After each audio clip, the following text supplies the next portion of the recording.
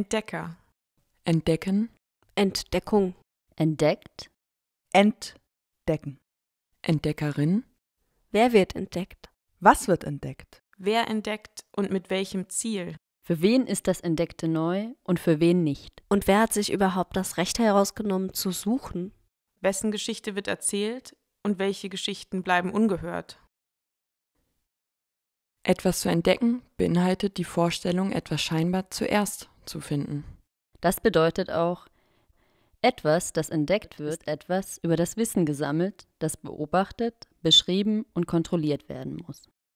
Der Kolonialismus hat gezeigt, wie die gewaltsame Neugier und das rücksichtslose Streben weißer EuropäerInnen nach neuen Handelswegen, Rohstoffen, unbezahlter Arbeitskraft und Wissen Menschen zu dem Glauben verleitete, sie wären Entdecker. Sie behaupteten, sie würden eine neue Welt entdecken. Eine Leerstelle auf den von ihnen gezeichneten Landkarten, die es mit Hilfe des Entdeckens zu beseitigen galt. Entdecker schrieben, klassifizierten, zeichneten Karten, fanden Schätze und sammelten Kulturgegenstände der kolonisierten Bevölkerung, um den Menschen in Europa von ihren Fantasien einer fernen Welt zu erzählen. Das Problem ist, dass Entdecker auch töteten, vergewaltigten, Kolonisierte umsiedelten, versklavten und sie gegeneinander ausspielten, um ihre Macht zu sichern. Sie zwangen sie trotz Widerstand ihre Gesellschaftsformen zugunsten des Christentums aufzugeben und raubten kulturelle Artefakte.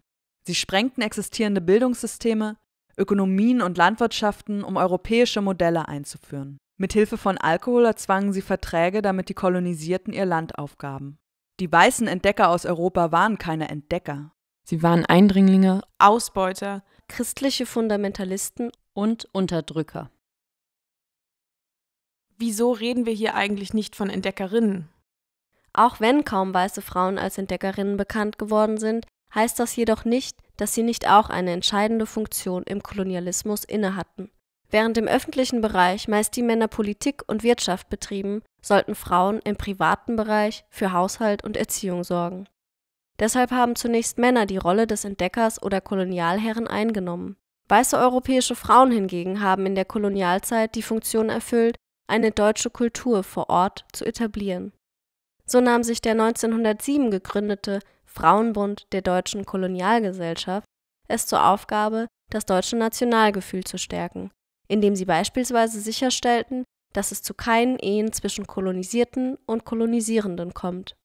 Frauen siedelten in die Kolonialgebiete um und errichteten Bildungsinstitutionen nach deutschem Vorbild, schrieben Kolonialromane und Erfahrungsberichte für Zeitungen in Europa.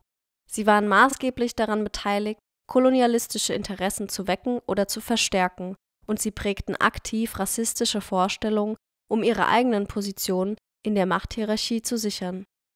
Somit nahmen weiße Frauen auf ihre Weise teil am Eindringen, Ausbeuten, Christianisieren und Unterdrücken. Sie verbreiteten ein positives Bild vom Entdecken.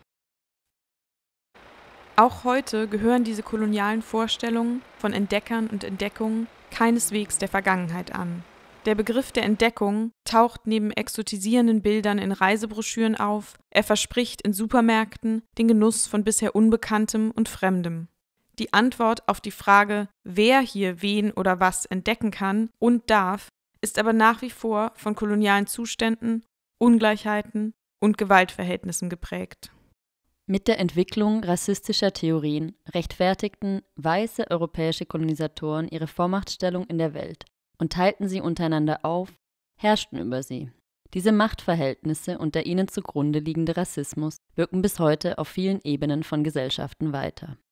Weißsein wird als normal dargestellt und wahrgenommen. Deshalb wird es nicht benannt. Wir, die dieses Video machen, profitieren als weiße Deutsche von Rassismus und haben dadurch Privilegien, zum Beispiel nicht auf Rassismus reagieren zu müssen. Viele Menschen sind jedoch tagtäglich mit den Auswirkungen des Kolonialismus konfrontiert. Rassistische Bilder gehören keineswegs der Vergangenheit an.